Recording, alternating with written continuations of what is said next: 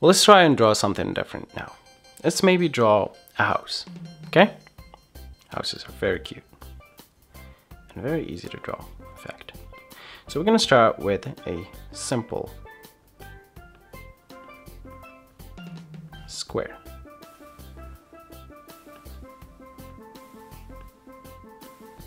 Okay? Now, I'm gonna add small little square next to it. Very easy. Now I'm gonna add a triangle here. See, I'm just focusing on the main shapes. I don't draw windows, I don't draw doors, I don't draw anything. Just main shapes. Then maybe another triangle here. See, now I have the main shape. Now I can start adding details. Well, for details, maybe I'll add another rectangle here and uh, another triangle. Then I can start adding a door.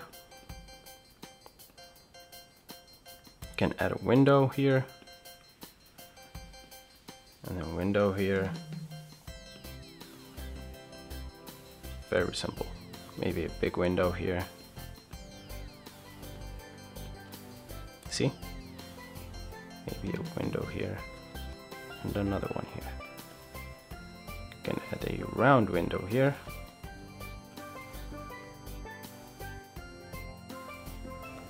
Now we can add more details. Just gonna have some beams around.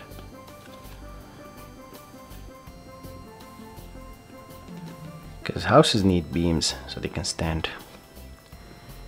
Maybe I'll make this roof more detailed.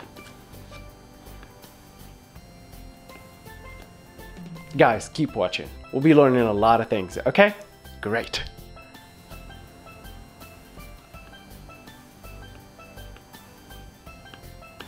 See? It's very simple. One like this. Another one here.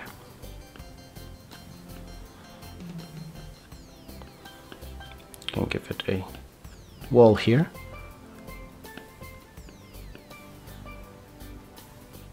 Maybe try to color it so it's obvious we give it a doorknob and a window in the door. Let's maybe add a cat's door here. So the cat can go in and out easily. Maybe add some beams here.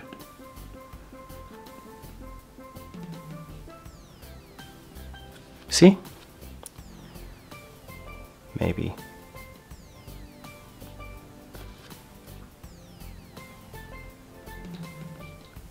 See, it's very simple, isn't it?